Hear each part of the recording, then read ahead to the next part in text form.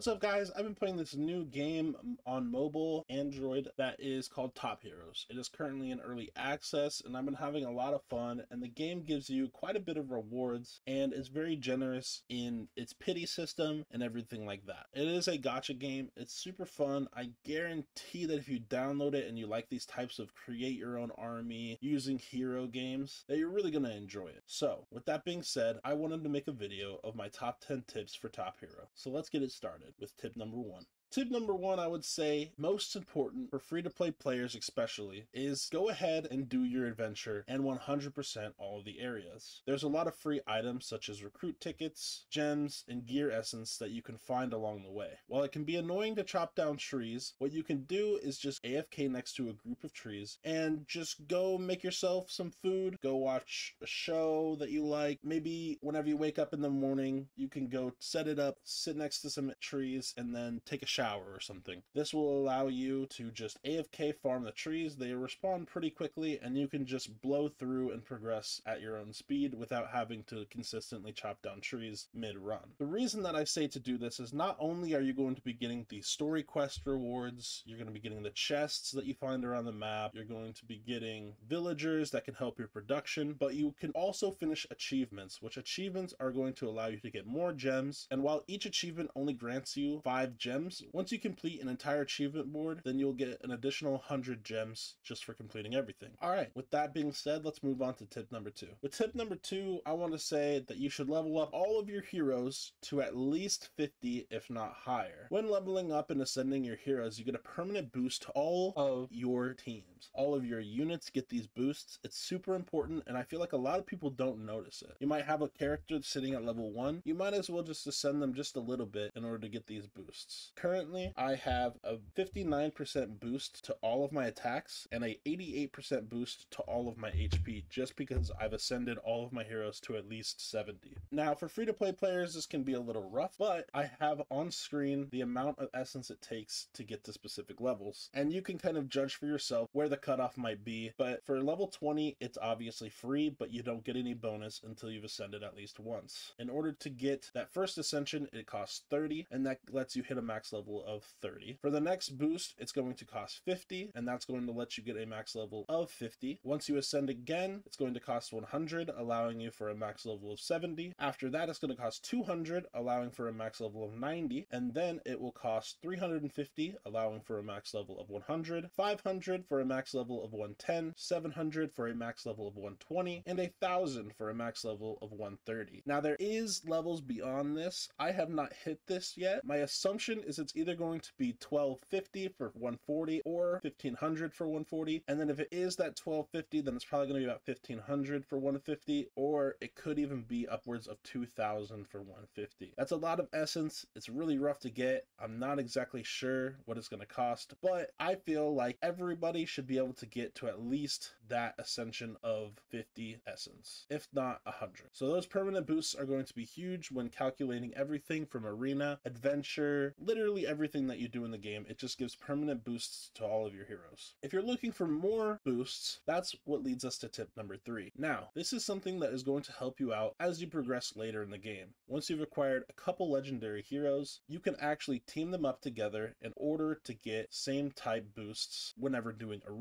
queues, literally anything. As long as you have the same type heroes, you'll be getting these boosts. For having four legends of the same faction, you're going to get a 15% boost to both HP and attack. For having five legends of the same faction, you're going to be getting 25% to both HP and attack. And finally, for using six legends of the same faction, you're going to be getting a whopping 35% boost to both HP and attack. That's a huge boost. So especially once you hit arena, especially once you start queuing for really high level stuff, that 35% is going to be absolutely ginormous. And especially you're going to be clapping people in arena for those who do not have that boost. In my opinion, the easiest to acquire is League characters, but I will do a breakdown on screen of what each faction's numbers are so that you can know exactly. Keep in mind, this is only legendary heroes. This does not apply for epic heroes. This does not apply for rare heroes. It is only legendary heroes. Tip number four. This one is, I think, probably the most important tip on this list, and it is very important for you guys to know this. So, when you recruit in this game, you are allowed four options. Now, it's going to randomly roll it, and keep in mind, rare heroes are going to be what you get the most, then epics, then legendaries. Just because there are four heroes in your tavern, it does not mean it's a 25% chance to get any of them. They still keep their obtain rate even if you've rolled them into your tavern. Now, it is vital that you do not continue your rolls unless there is a legend. I will say there are specific epics that it could be worth trying to roll a couple times, but it's never going to be worth to use eight tickets to get an epic character, and here's why. When you continue your tavern rolls, it does not actually work towards your pity. So you can end up spending eight tickets and only move your pity up one. It would be way better to move your pity up eight with eight individual wishes in order to get closer to that legend. When rolling, rares are going to be the most common, so even if you want to upgrade your rare heroes, you're still going to be getting them very often, and you're not going to have to worry about getting additional character just because you want to roll the tavern again. For rare characters, never continue. For epics, there are specific ones, which I'll be making another video that is a tier list of all the characters, so you can check that out to see which ones are more worth, such as Knight or I think Brawler is also pretty good. Now, what happens when you do finally roll that legend? Now, that leads us to tip number five. When you are at 19 out of 20 tickets, and really, if you want to be safe, anytime you are rolling characters, you should have eight or more wishes on you at a time. Now, the reason for this is before pity, if you are 19 out of 20, 100% have eight wishes. Now, the reason for this is in order to guarantee the legendary character, you're going to have to use eight tickets. It costs one for the first roll, one for your second reroll, two for your third reroll, and four to guarantee the fourth unit in there. It is a 2.5% chance to get a legend if you are not on pity, so feel free to recruit at your own risk, but guarantee that you have those eight tickets when rolling the tavern because the worst feeling you can possibly have is roll one ticket and then maybe you have to spend all of your gems in order to get that legendary hero, or potentially you just miss out on the legendary hero. It feels really bad, and I just highly suggest make sure you have eight or more tickets when wishing almost 100% of the time. Tip number six, you can set up auto rally in your guild. So while you are offline, if you have a team available, you can actually set up auto rally in order to join boss raids. This is incredibly useful, especially for early game, because you're not going to be mining resources around the map as consistently, and these bosses are going to give you a lot of essence, especially for early game. Keep in mind, this tip is less valuable for guilds that are super active, as it takes 20 seconds for you to join an auto rally, and so so if your guild is super active, then they're going to be joining those rallies instantly, and your auto is not going to be joining as long as people are consistently paying attention. You can help your guild members out by leveling up your rally hall, and this is going to allow more people to rally with you. So that allows for some of these people that might not have been able to join before to join, and it's also going to make beating bosses and such easier because more people can rally with you. All right, tip number seven rubies are insanely important. Insane insanely important and should be farmed almost 24 7.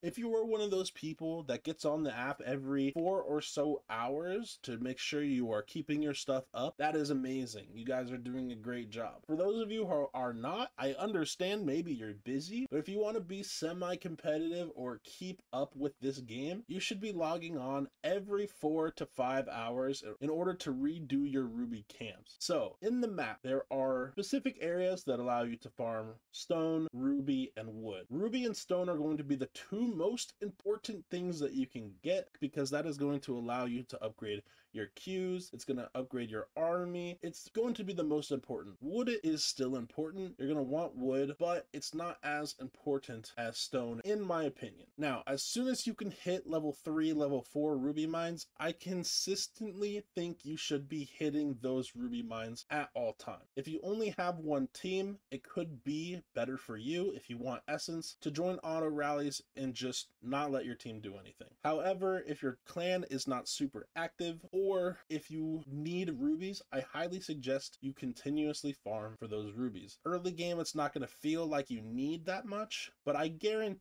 you, you are going to need hundreds, if not millions, of rubies in this game. I'm getting to the point where some of my upgrades are costing 5k rubies alone, and I can loot about 1k to 1.5k on a 1q. So that's six hours of me farming rubies, and while my research isn't that high yet, and it will get better as I progress in the game, it's still a lot of time for these ruby costs. Please make sure to farm your rubies and stone prioritizing rubies. That is going to move us on to tip number eight. So this is something that you will learn as you progress in the game, you unlock an arena in the game, and this is a PvP function where you can get pretty good rewards with a few buildings, gems, and recruit tickets. Now, in order to maximize your gains, you can actually continuously attack an arena, obviously until you run out of tickets, and then you should claim your ranked rewards. If you claim them before, let's say you're rank 8, you claim them, you get off the top of my head like 17 arena tokens. And then you use 5, 10 attacks, you move up to rank 3, and then you could have claimed it. You could have gotten like 10, maybe even 15 more rewards if you just waited until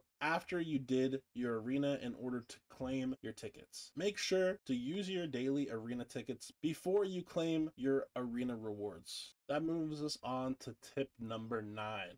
Research, research, research. Now, I wish I knew off the top of my head when you get the research station. I want to say, I think it's based on your progression in adventure mode. Once you get to about 6-3 in adventure mode, I think you actually unlock it, and I might be crazy. I should have looked this up, but there's not a lot of information online, and it's been so long since I've unlocked the research station. But I made the mistake of never doing research until I was almost done with adventure mode. I had so much time that I lost researching because this stuff is so valuable. Now, a few things that you can get out of doing your research is your team can become stronger, you can increase your gathering speed, you can power up your military, you can get faction bonuses, but it can be a little overwhelming at the start. So I just want to give you guys a couple things to level up first. First, getting your first queue to unlock all six members is going to be huge. You want at least one queue that is super strong, and you should focus on one queue and not branch out into each different queue. Second, letting you promote your lower level armies. As you progress in the game, and you upgrade your army stations, all of your army heroes are going to stay at the level that you train them at. But you could unlock the promote your lower level armies